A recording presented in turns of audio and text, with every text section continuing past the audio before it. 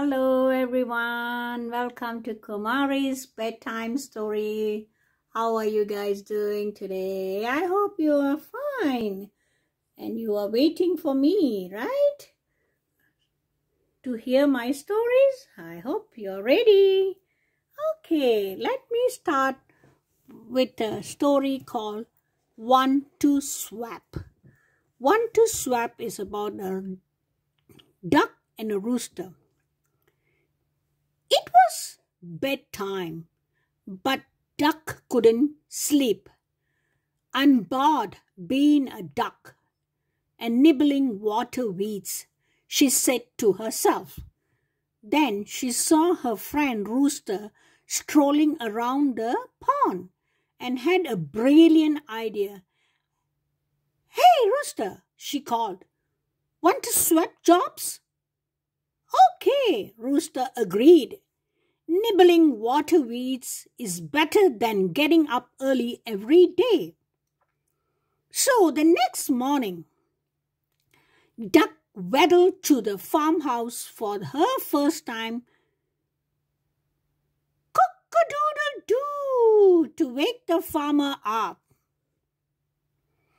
But when she opened her beak,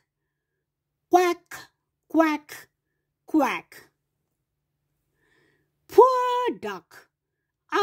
However hard she tried, she couldn't crow. And the farmer overslept.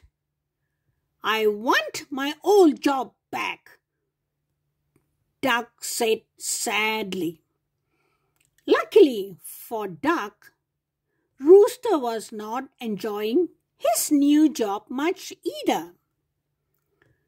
Water weeds are yucky, and I, and I kind of missed waking the farmer up, she said.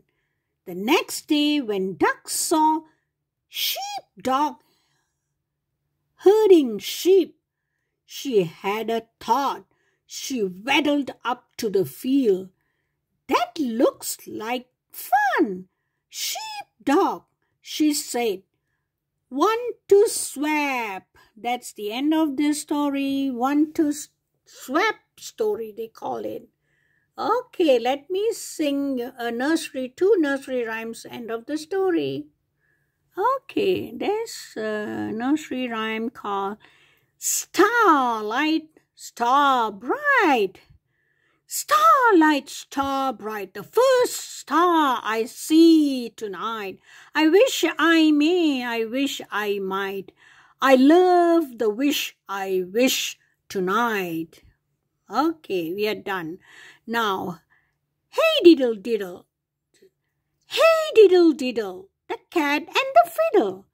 The cow jumped over the moon. The little dog laughed to see such and the dish ran away with the spoon. Okay, that's the two nursery rhyme and I'll see you in the next video. Bye.